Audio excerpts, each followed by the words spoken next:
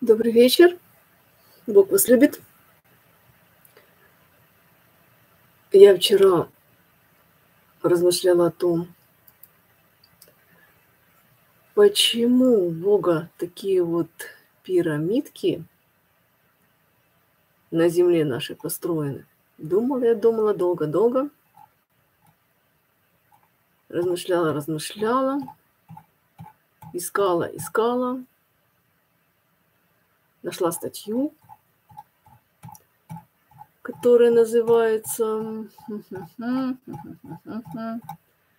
эм, «Мировая система пирамид и монументов древности построена с учетом числа апокалипсиса 666 6, то есть 4 шестерки, а число апокалипсиса, если говорить, это 3 шестерки. То есть что-то здесь не так.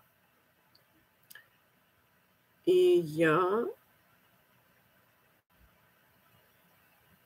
благословляю всех, чтобы осознали, что Бог творит Вселенную.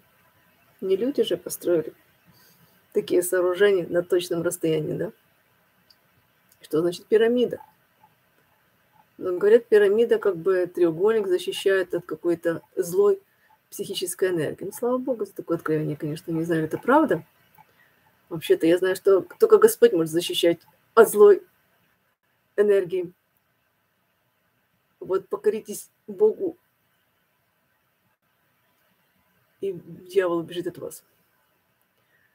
Значит, ученые посчитали, померили и обнаружили, что есть 9 таких вот пар, между которыми расстояние 6666 километров.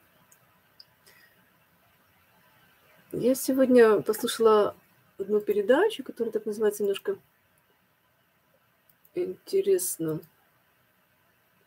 Дело в том, что Господа Бога есть одна истина, четко звучит.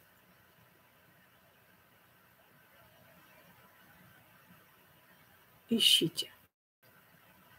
Вот она четко звучит. Ищите истину. То есть у Бога нет понятия истина, вот она вот. А написано четко. Ищите истину, и она сделает вас свободными. Много людей размышляют, философствовали веками о том, где свобода, в чем свобода. И сегодня я осознала, что там, где люди заботятся не просто о ближнем, о человеке вообще, понимаете? И те учения, в которых нет такого понятия человек-макарон, понимаете, когда не сравниваются люди с какой-то массой, не называется толпа,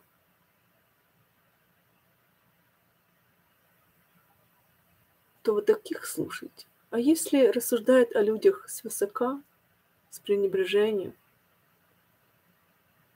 то такие теории развивают фашизм только, знаете, вот как, э, как у Блаватской, да? Как бы звучит истина. Истина никогда не спустится к вам, вы, мы должны до нее подняться. Да? Вот она звучит, это, вот она сказала, Блаватская сказала. А на теории Блаватской возник фашизм, правда? А Иисус спустился, понимаете? Эта теория неправильная, Блаватская.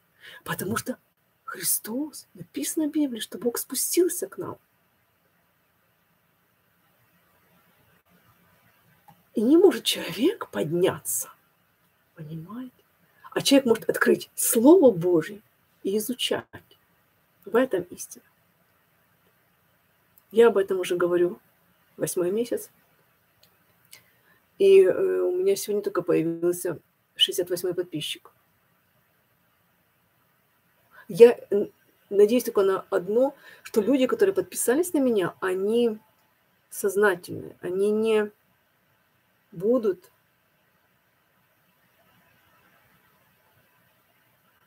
искать своего и когда-то помогут мне в Божьем деле.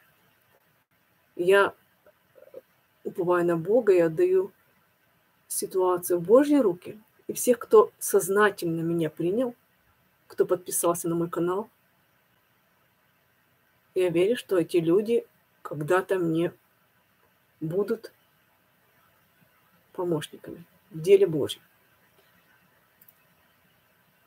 Да, не можем мы спуститься, э, то есть не можем мы подняться, но многие хотят подняться, и мирская мудрость говорит о том, что надо же как-то выживать. А выживать мудрость учит только за счет других. Ну, это не совсем то, но правда бывает редко бывает чистой и никогда не бывает простой. Абсолютно, потому что Иисус сказал, ну вы не можете всего вместить. Вот сказал Христос об этом, сказал четко, звучит ответ. Вы сейчас не можете это вместить. Ну, тогда во время Христа еще не было знаний, но сейчас уже знания есть, но люди не вмещают всей истины. Я не знаю почему. Или я соблазн. Ну, извините, извините. Э, сегодня ответ получила. Где? В Коране. А что там сказано? А сказано в том, что, что пророку Бог дал слово говорить пророку.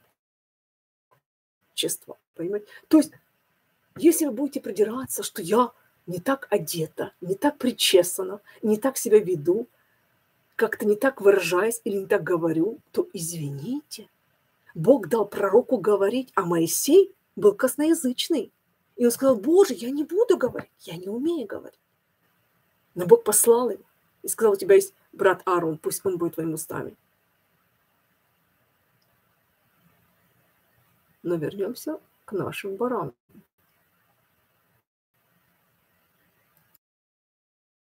Все-таки что это за такая мировая система, которая имеет число четыре шестерки? Заметьте, не три шестерки, за такая мировая система, которая имеет число четыре шестерки. Заметьте, не три шестерки, а четыре.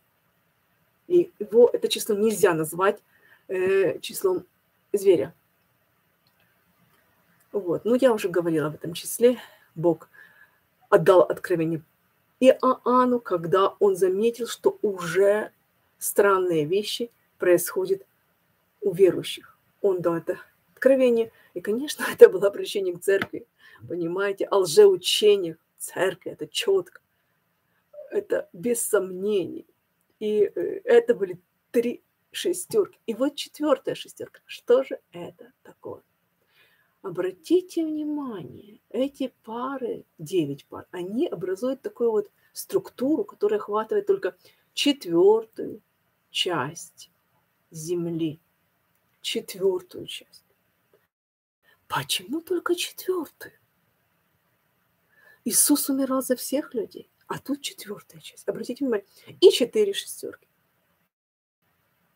Ну, я думаю, что Бог говорит, что Он пришел спасти всех всех людей, понимаете, вот структура, которая охватывает как бы четвертую часть Земли, но шестерки четыре, опять говорится о том, что Иисус Христос умирал за всех людей, без исключения. Всем Он дает шанс покаяться. И если мы изучаем Слово, то оно благое. Слово Божье говорит, Сын мой, наставление моего не забывай, и заповеди мои да хранит сердце твое. Ибо долготы дней, лет жизни и мира они приложат тебе. Милость и истина да не оставляют тебя. Обвяжи ими шею твою, напиши их на скрижале сердца твоего, и обретешь милость и благоволение в очах Бога людей. Как можно хранить заповеди Божьи? Выучить на память. Это не сердце. Выучить на память наш мозг. Поможет ли мозг? Может ли мозг помочь сердцу? Никогда. Сердце надо хранить чистым. Чтобы хранить сердце чистым, нужно изучать, нужно познавать. Поэтому Бог не говорит, там истина, здесь истина. Он не объясняет, он говорит, ищите истину. И говорит об этом. В каком наклонении? Несовершенно. Несовершенный вид глагола ищите, пребывайте в истине. Читайте, исследуйте Писание, ибо через них вы будете иметь жизнь вечную. Вы ставите цель иметь жизнь вечную. Через Писание вы можете иметь жизнь вечную. Вот. И если истина сложная, когда Бог дал откровение Иоанну, видно, и это не помогло, правда? Погрязли все равно в грехах священники. Воз, возглавляли церковь и искали э, дохода, понимаете? Тогда он послал Магомеда. Пусть не говорят, если истина, говорят, истина не бывает на полюсах. Бывает на полюсах истина. Именно на полюсах находится истина, понимаете? Вот Северный полюс, египетские пирамиды, 6666 километров, э, Кайлас, вы знаете, что такое Кайлас, да? Э, Северный полюс тоже 6666 километров до полюса. Такое расстояние. Истина как раз бывает на полюсах. Почему? Потому что если судить человека, то можно придраться к его тому, как он говорит, так, как он себя ведет, так, э, так как он любит в сердце, да, заглянуть его. Понимаете? И можно ходить и говорить, ты не прав, и здесь ты не прав, и тут ты не прав, ты неправильно сделал, ты не подумал о том человеке, ты забыл о другом человеке, ты не заботишься и так далее, понимаете?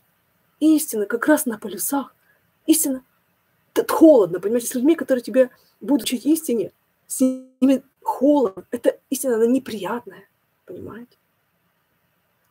Это лед, который пробуждает, понимаете, от сна.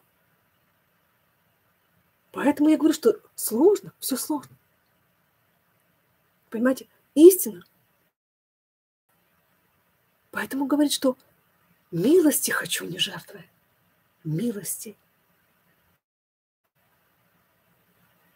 Правильно? Какая у нас жертва сейчас? Жертва времени, правда? Для Бога. Вот жертва. Вам жалко времени для Бога?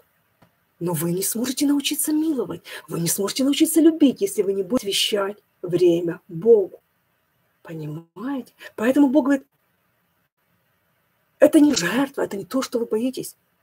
Это для, для вас, чтобы вы научились любить, чтобы вы научились миловать, чтобы вы научились терпеть, терпением спасаете ваши души. Но терпение приходит только в том, когда вы ищете истину Божью. Ищите истину, и она сделает вас свободными. И никакие цифры, никакие числа вас не спасут. Бог просто говорит, что Бог совершает спасение на всей земле. Вот четыре шестерки и, и вот такая структура, которую вот можете загуглить. Интересная статья о том, что Бог любит человечество. Это я говорю. Как он построил пирамиды, каким образом, я не знаю, но не человек считал это расстояние. Правда? Будьте благословенны.